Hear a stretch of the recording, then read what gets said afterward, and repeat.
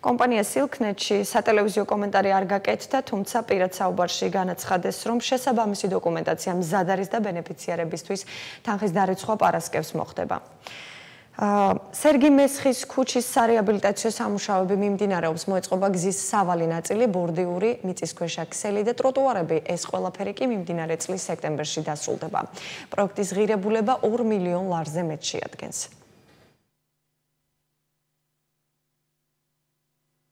მესხის ქუჩაზე მაღალი ინტენსივობით მიმდინარეობს გზის რეაბილიტაციის სამუშაოები. ეს მოიცავს გრუნტის შეცვლას პარალელურად მუშაობს ბათუმის წყალი წყლის ახალ სისტემაზე აბონენტების დაერთების კუთხით.